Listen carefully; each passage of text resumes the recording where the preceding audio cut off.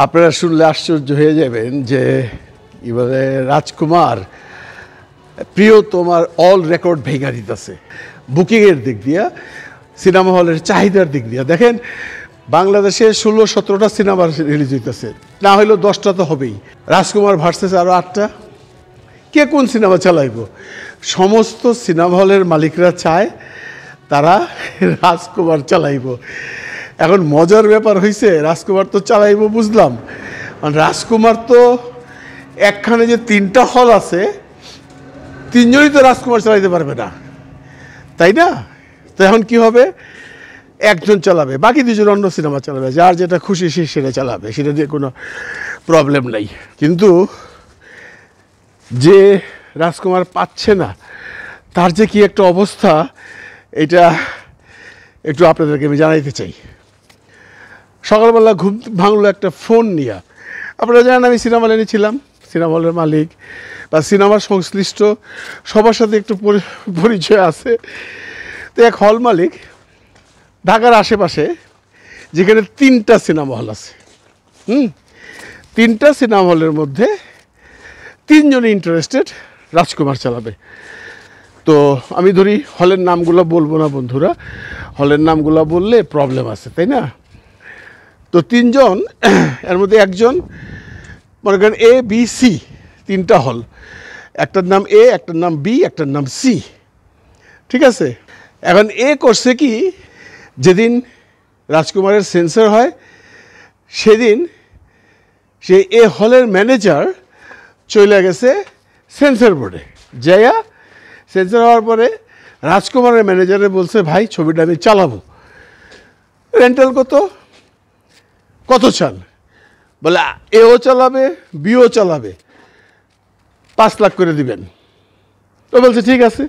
সে এসে মালিকরে বলছে, মালিক বলল যে, দুইজনে চালামু। তারপরে মিয়া, তুই পাঁচ লাখ টাকা দিয়ে করলা। বলল, স্যার, এটা করেন। এটা করেন এই জন্য যে, গত ঈদে আমরা প্রিয়তমা চালাইতে পারি নাই। এইবার যদি না চালাইতে তো লস হয়ে যাব। দেখ, মালিক বলল, ঠিক আছে, তুমি যখন করছ, আর তো কিছু করার নেই। ফাইনাল আজকে বাংলাদেশ টাইম সকালে সেটা বুকিং স্লিপ সাইন করার কথা।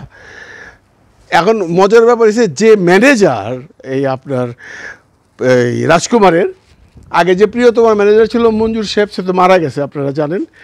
এখন নতুন একটা ছেলে, সে আবার এই এবিসি হলের যে এ হল যার সাথে কথা হয়েছে, তার সাথে খুব খাতির এবং আমার সাথেও খুব খাতির। একসময় সে আমার সাথেও কাজ টাজ করছে আর কি দিবে আমার ছবিতেও সে কাজ টাজ করছে। তা আমারে ফোন করছে বলে আপনি একটু ওনারে ম্যানেজার বলে দেন। তো গন্ডগোল করতেছে কি গন্ডগোল করতেছে? বলে যে আজকে সাইন করার কথা, আইসা শুনতেছি ছবি দিবে বিআরসি রে, আমারে দিবে না। আমি, কেন তুমি রেন্টাল কত বলছো? বলে রেন্টাল পাঁচ লাখ চাইছে, পাঁচ লাখই দিছি আমরা। তারা কত? কই, তারা তাই দিতেছে। দিবে না কেন? তোরে ফোনটা দাও। তো ওর সাথে কথা বললাম, ও বলল যে, স্যার, ব্যাপার হয়েছে কি, এটা আরশাদ সাহেব নিজে দিছে। কারণটা কি? তুমি তো বুকিং করছ। বলে, স্যার, আমি বুকিং করছিলাম, মৌখিক বুকিং টাকা পয়সা তো নেই নাই। কিন্তু ঘটনা হচ্ছে যে বি যে সিনেমা হলটা বি সিনেমা হলের মালিকের সাথে আশার সাহেবের একটা ফ্যামিলিগত সম্পর্ক আছে। ওনারা কিন্তু প্রিয়তমা চালায় নাই, তখন ফ্যামিলিগত সম্পর্ক ছিল না।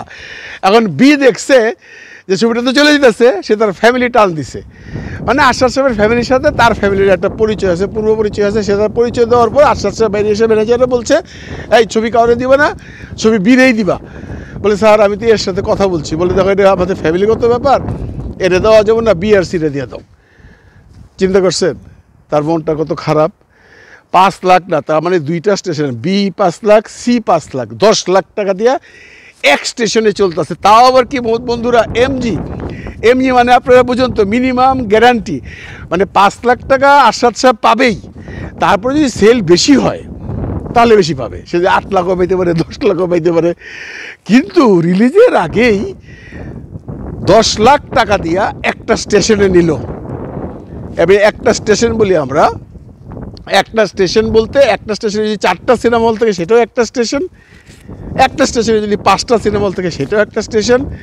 একটা স্টেশনে যদি একটা সিনেমা হল থাকে, সেটাও একটা স্টেশন। যেমন ঢাকা শহর একটা স্টেশন। এরকম আগে আমাদের ছিল সাতশো স্টেশন, বারোশো সিনেমা হল। এখন তো মনে করেন স্টেশনই হইব আশি নব্বইটা, সিনেমা হল দেড়শোটা বা একশো বিশটা।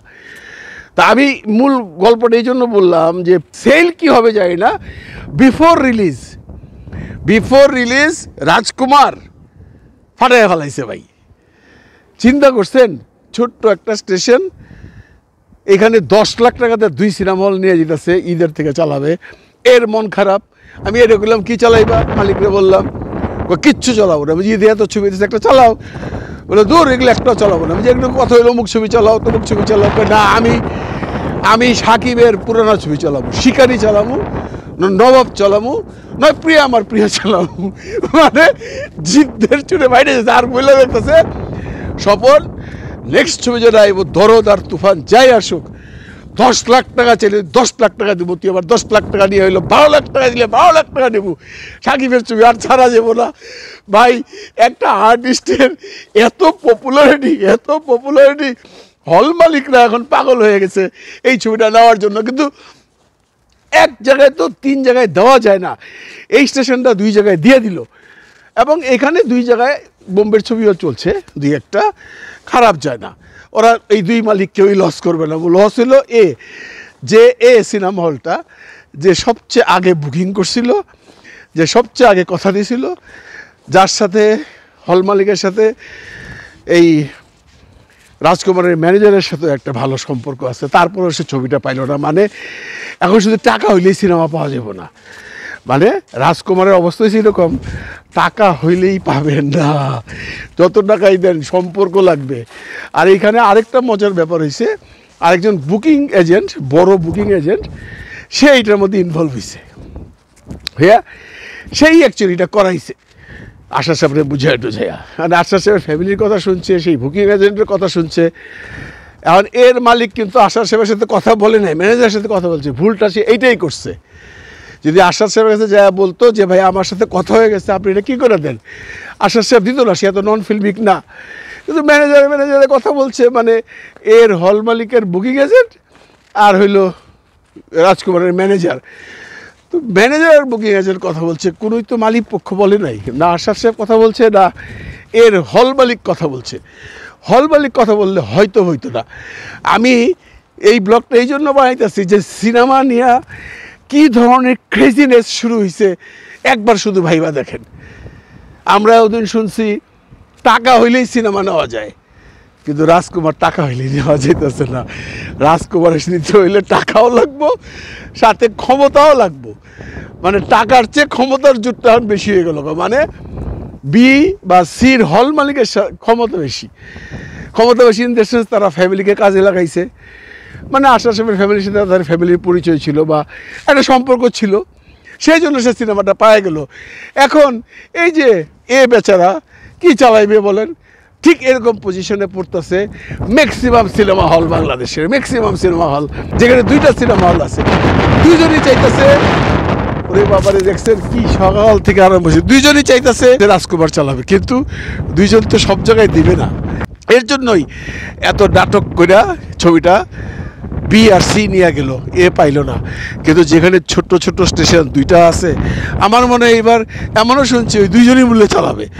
মানে এতগুলা সিনেমার মধ্যে কোনো হল মালিকের, আমি কোনো সিনেমারে ছোট করতেছি না বন্ধুরা, বা সাকিবরে বড় করতেছি না, যেটা বাস্তব, যেটা রিয়েলিটি সেইটা বলতেছি। এত এত সিনেমা রিলিজ হইতেছে, কিন্তু পারাপারি, মারামারি, কাটাকাটি সব এই রাজকুমার নিয়া।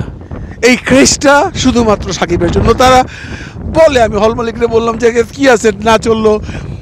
অন্য একটা সিনেমা চালাও। বলে, ভাই, পুরা বছর পয়সা থাকি ঈদে একটা সেল নেওয়ার জন্য। ঈদের সেল বাংলাদেশে একমাত্র সাকিব ছাড়া কে দিতে পারে? আমারে বলেন তো। আমি কার ছবি চালাবো? সিনেপ্লেক্সগুলোর ব্যাপার আলাদা।